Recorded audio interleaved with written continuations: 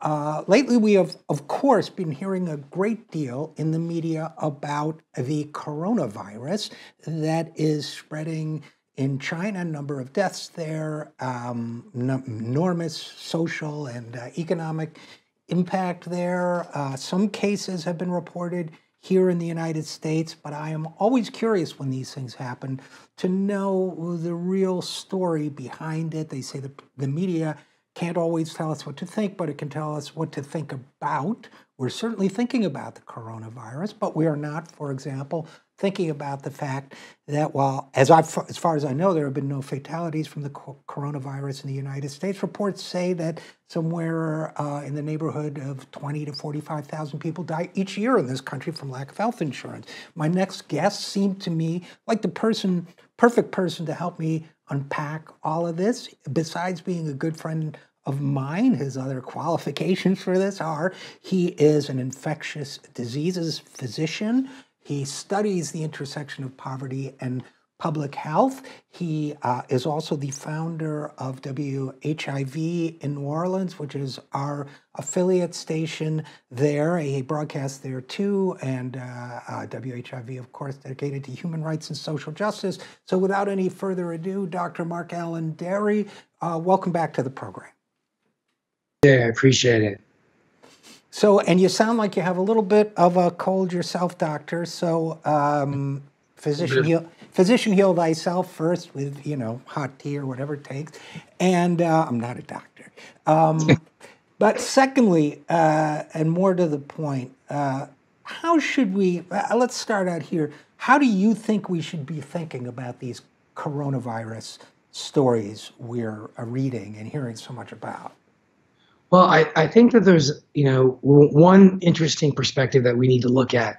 When we think back to what happened in 2000 uh, to 2003 during the SARS epidemic, that was also a coronavirus, as well as what we've seen recently through Saudi Arabia, which is the Middle Eastern uh, respiratory syndrome, also called MERS. Those are both coronaviruses this third coronavirus that we're seeing here from Wuhan, uh, China.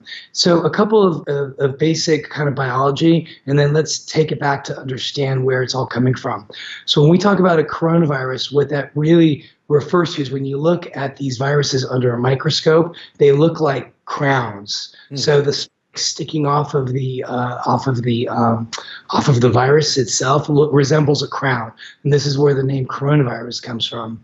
But also to be clear, the coronavirus is responsible for about 10% of yearly uh, or annual uh, colds or influenza like illnesses that we see. So it's very common over a lifetime. Me being 51 years old, I've been infected uh, by the coronavirus as a standard cold uh, uh, virus that kind of circulates around the community. And who knows, maybe that I have a standard circulating community uh, coronavirus right now that I've been somewhat sick with for the last couple days. So coronaviruses are very common. But let's go back to those three that we talked about SARS and MERS and this new novel coronavirus 2019. What's unique about these is that the origins of them emanated from another uh, uh, uh, another host, in other words, an animal. And what we refer to that as is zoonosis. And the process of a zoonosis is when um, a, a, virus, particularly virus, uh, basically makes the jump from an animal host to a human host. Now, these three coronaviruses were uh, all very likely come from a bat host, so fruit bats.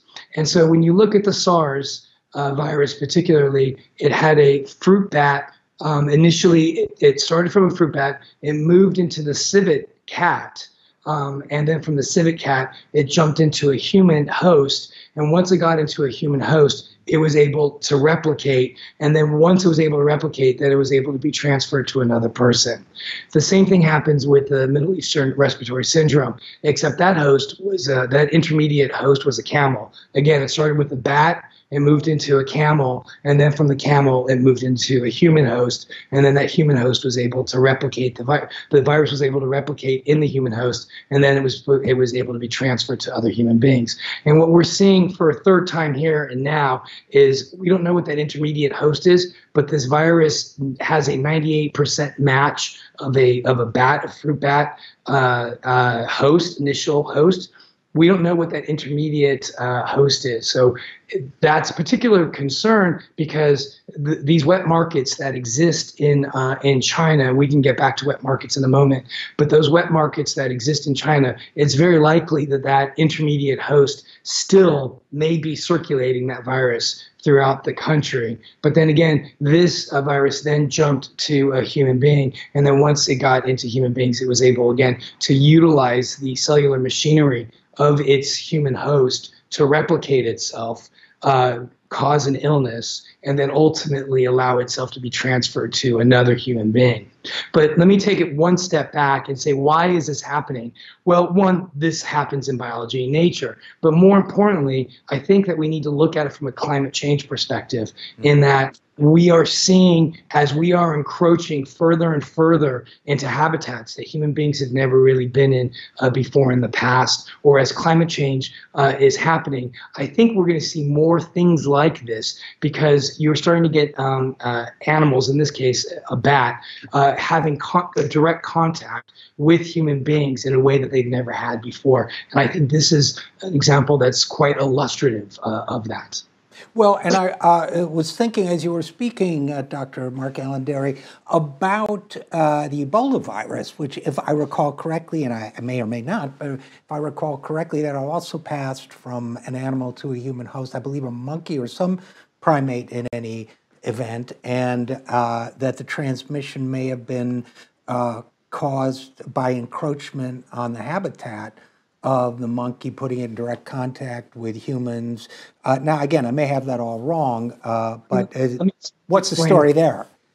Yeah, let me explain real quickly. So I um, I worked for the WHO uh, as a clinical epidemiologist in Freetown uh, and spent four months uh, during the 2014-2015 uh, epidemic. And so I Ebola is uh, I, I is you know near and dear to my heart, if you will. But it it also started from that host as well. Mm-hmm. And you're right, there was an element of encroachment. And you bring up a very good point um, because why? So the the first case started in a child, and this was a child that was foraging for food in the jungle. And again, it, you know, and RJ, you and I have talked about this many times when we talk about infectious diseases, are diseases of the poor.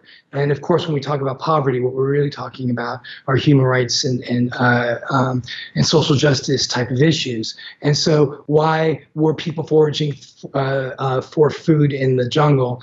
And I think that the first case was in Guinea, if, if I if I remember correctly. Well, because the poverty is so bad there, uh, and this little boy picked up a, a fruit, and it was very likely that the fruit um, uh, was picked up from the bottom of a tree, and in that tree likely were bats that were either um, voiding, uh, in other words, urinating, or defecating, and it landed on the apple uh, or the fruit that he had picked up and had consumed, and then got sick, and then that was pretty much the start of the Ebola epidemic. And I imagine that that, but correct me if I'm wrong. Again, I imagine that poverty also plays a, a, role not only in the in the transmission from the animal to human, uh, but among humans in that poor people uh, often, if not usually, lack medical care. So an infected person, a child, or any other vector is going to remain untreated, which is itself unjust, but also probably amplifies the transmission process. Am I right about that?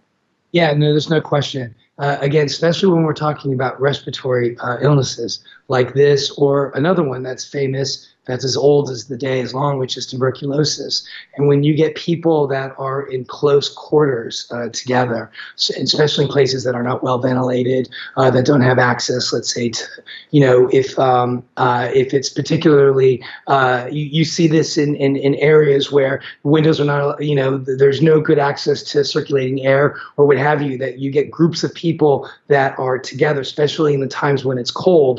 This is why they refer to it as the cold, um, that the, this is when these upper respiratory uh, infections are circulating because you have larger groups of people that are staying together. Um, and you find that in areas that are more impoverished, those people that are, are more privileged in society may be able to live uh, with just their family, whereas those people that are more uh, impoverished may have to live several families to a particular home. So, Dr. MarkAlain Dery, you also mentioned earlier in talking about the novel coronavirus in China, wet markets. And I don't know, and I suspect that many in my audience don't know what that is. The what, what's that? I didn't understand. Wet that. markets? Didn't you use that phrase? Oh, yeah, yeah, yeah. Sorry, wet markets. Yeah. So the the idea of wet markets, SARS uh, originated from wet markets as well as did this novel coronavirus. And so, um, so the the the way that um, the Chinese culture has consumed meat for thousands of years uh, are um, from uh, an option for eating meat is eating meat that has been freshly um, uh, slaughtered uh, either at the market and then taken home, or oftentimes these animals are are purchased live uh, and then taken home and then slaughtered, and then the meat is eaten freshly after the kill. Uh, and so these markets are referred to as wet markets. Uh, and because these animals are alive, uh, you can see how easy it is for transmission to occur, uh, especially with a virus, uh, from an animal to to a human being. Now that happens probably very very regularly, except that uh, it happens probably hundreds of thousands of times. The frequency of it happens regularly, but what happens is once the virus gets into a human host, it's unable to replicate itself, and then it, the virus just dies there. But every once in a while, you know, when you are talking about millions of occurrences of frequency, eventually one virus is going to have the right genetic makeup so that it will be able to replicate itself in a human host. And then once it does that, it's able to be transmitted from human to human, and then boom, you have yourself an epidemic. So, Dr. MarkAlain Dery, in my introduction, I pointed out that, uh, you know, I, at least in my opinion, there was a disproportionality between the level and intensity of, obviously, every human life is precious, we don't doubt that, but the intensity of the coverage of this uh, I had, uh, uh, you know, one. I, as I as I said, uh, we're not talking about the other lives that are lost through inadequate nutrition, through gun safety, through lack of health insurance, through poverty and the consequences of poverty, especially in children. Uh, and in addition, uh, I feel, and I certainly felt about the response to the SARS virus, for example, by Chris Christie when he was governor of New Jersey, and so on. That, however legitimate the health concerns here as well as abroad. Eh, I'm also concerned about what seems to me to be a xenophobic uh, element to all of this that somehow it's them it's those outsiders that are deadly am i being am i reading too much into it you think I don't think so at all. And in fact, if you just allow me to make one small correction, uh, what Governor Christie did was he was responding to a nurse who was in Sierra Leone or Guinea during the Ebola uh, epidemic, and what he did was he had her kind of stay on a, on the runway of an airport, uh, and th- that was only in the United States that they did that. They did that to me as well. Coming back from Sierra Leone, I had to spend three weeks by myself. I was able to stay in in in, in my condo here in New Orleans.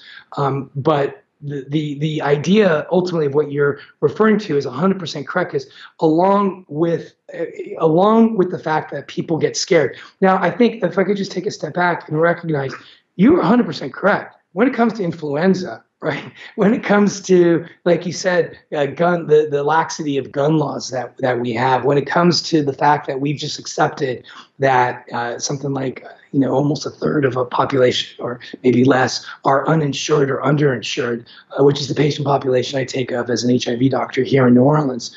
Um, it, it's remarkable that you have an epidemic uh, that's happening in China um, that it, it, it, admittedly is seems to be you know more and more cases are happening daily but in the context for which we're seeing the rest of um, human suffering on, on earth or particularly here in the us it, it's almost for somebody like yourself and i it's almost like well if you're concerned about this why are we also not concerned about that and so that point is very well taken, and, and, and, I appreciate that point that you're making. The other thing is, yeah, unfortunately, along with these epidemics, and I certainly saw it in West Africa, um, and I certainly saw it here, and I'm seeing it here. I was just reading a story today that small businesses that deal with like Chinese imports or what have you for the past month, there's just been no business because there's this um, there's this fear or there's not a there's not a sophisticated understanding of how viral transmission works and how that stuff that's coming in from China, um, obviously there, there is no viral, uh, uh, there's no viral material on any of the stuff, but still there is an element of xenophobia. And to a certain degree, we're kind of watching as like infectious disease voyeurs. And so that itself also allows us I believe, to kind of see that there is an us and them uh, perspective. And, and it's really the, the xenophobia um, and the, um, the racism that comes out in the uh, setting of these epidemics is really something that I think is important, that always needs to be discussed and, and talked about. And also, let me say that along with the current administration that we have, there's obviously a fair amount of xenophobia. We see that on a day to day basis. But another element, you, we saw uh, last week that the Trump administration closed off, co- they added more countries uh, to their, um, their, their uh, racist policy, their immigration policies. But also within that, they've also closed the borders to Chinese nationals as well. Uh, in, in an effort quote unquote to kind of stem uh, uh, the uh, influx of, of, of, people that are coming from China to the US. And this is one of these unspoken stories. And it's another example of xenophobia that happens in the setting of an infectious disease epidemic like this. And of course, xenophobia has always been part of this country's go to uh, response, uh, the, or rather, I should say, the intersection of xenophobia and disease. I mean, as you well know, uh, immigrants have been the target of the disease story for a long time. Just quick story, then I'll give you the last word. But, you know, my uh, Jewish uh, uh, grandparents from the Ukraine were members of a group that was widely considered disease ridden when they came in. Uh, my French Catholic aristocratic grandmother on the other side would never have been seen in that way. And she was the one who loved to go to what we now call wet wet markets. She bought live chickens, she bought live lobsters, she bought live everything. Um, so, if anything, uh, my cat, my French grandmother was more of a disease vector than my Jewish grandmother. But that kind of classist, racist, bigoted as uh, anti-immigrant hysteria. There's always been an intersection with disease to a certain extent, hasn't there? Yeah, there, there certainly has. And it's just, it's easy, um, I think, when you're looking at from a classism perspective, uh, just to kind of point to other individuals. I mean, for example, I'll give you the best example of this was HIV. It was super easy to denigrate uh, the uh, men who have sex with men population or the gay uh, through, uh, through extreme homophobia. And in fact, through the 80s and early 90s, there was more of a um, uh, there was more effort to deal with the homophobia that was associated with HIV than there was to deal with the virus that was killing uh, these gay men uh, or these IV drug users. And so we see it here regularly, and I really think that the HIV is a great uh, example uh, of the HIV epidemic that we saw in the 80s and 90s, and that we're still seeing now. That again, disproportionately affects black and brown communities, uh, and that's largely due to poverty which in my book, Poverty, is just essentially discrimination that's been codified into law. And we can turn that around right away. And as a society, we haven't quite figured out how to get there yet. Eh, it's, it's discrimination codified into law, it's structural violence, it's structural racism, it's all those things. And we really appreciate your great work in that area, Dr. MarkAlain Dery, and the great work of WHIV. So please keep up the good work and please see a doctor about that cough. It sounds bad. And thank you for coming on the program. Thank you, RJ. Thank you so much. I appreciate it. Always a pleasure.